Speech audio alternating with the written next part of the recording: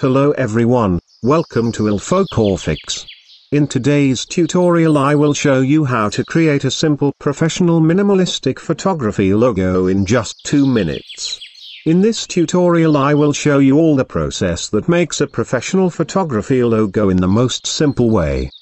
Because lots of beginner photographers need a professional logo for their photography brand and that why I will show you all the process of this professional photography logo in a few minutes.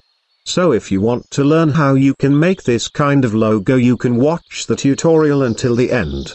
And if you have any questions or suggestions let me know in the comments below. And don't forget to subscribe to my channel. And thank you so much to Noah Medina for supporting my work through Patreon. And everyone if you like my work you can support me to keep motivating me to make free tutorials for you. Don't forget to subscribe to my channel. Not just subscribe also press the bell icon to get all the notifications so that you might never miss any chance to learn new things about Photoshop. Now let's start today's tutorial. Now we are here in the magical world of Photoshop. I have downloaded a background image for today's tutorial. You can go with your own image. First, press Ctrl or Command plus J to make a duplicate layer. Then convert the layer into a smart object. Now we will apply blur to the image, go to the filter, then blur, and Gaussian blur. Now apply 10 radius blur, hit OK. Then go to the toolbar and take the rectangle tool. Create a shape in the middle.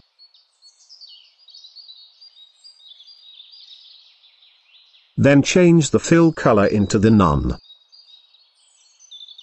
Then apply 20 pixels stroke.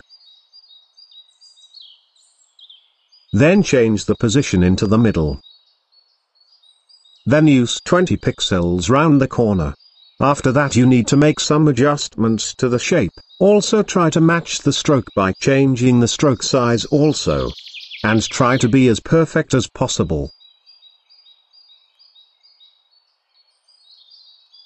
Next, we will cut out in the middle of the text by using the layer mask. So that first, go to the toolbar, and take the rectangular marquee tool. Then make a selection in the middle of the shape. After the selection, we need to invert the selection. Go to the select, then inverse. Then select the shape layer, and apply a layer mask. Then go to the toolbar, and take the ellipse tool.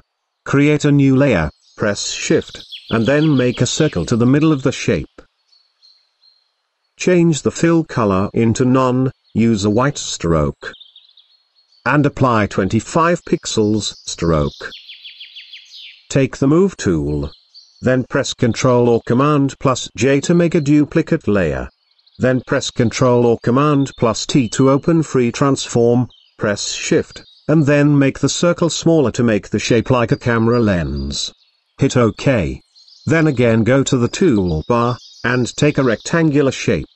Create a new layer again and then make a shape to the top. Take a white color. Zoom closer.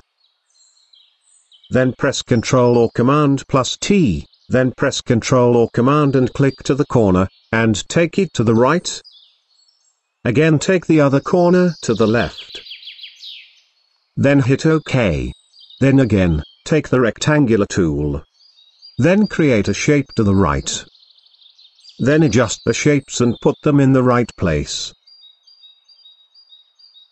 Zoom out. Now again make some adjustments to the camera shape. Hit OK. After all the adjustments to the logo, select all the shape layers, and create a group. Give a name. Then go to the toolbar and type the tool. Click. Then make the text size bigger. And type your photography name. Then make the text size bigger. Again go select the logo group and make the logo size smaller.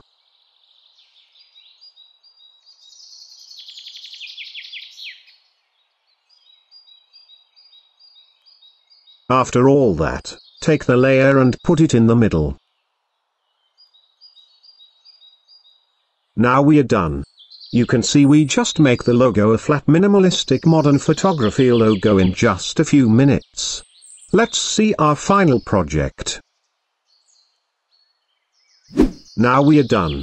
You can see I just show you how to make a professional fat minimalistic photography logo in just a few minutes.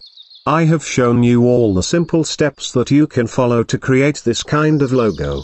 You don't need to be a professional logo designer to design a simple logo.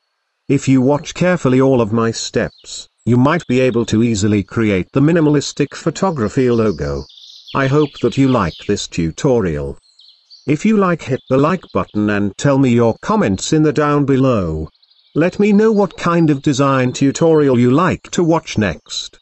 And if you want to know more you can check out my tutorials on my channel I hope you will like my tutorials also. And share the tutorials with your friends to share my work and give support to my channel. And thank you to my friend Noah Medina for supporting my work through Patreon. If you like my work you can also support me to through Patreon. And don't forget to subscribe to my channel. Not just subscribe also press the bell icon so that you get all the notifications of my channel and never miss any chance to learn new things about Photoshop. That's it for today, see you in my next tutorial till then, bye. And the most important thing. Keep learning.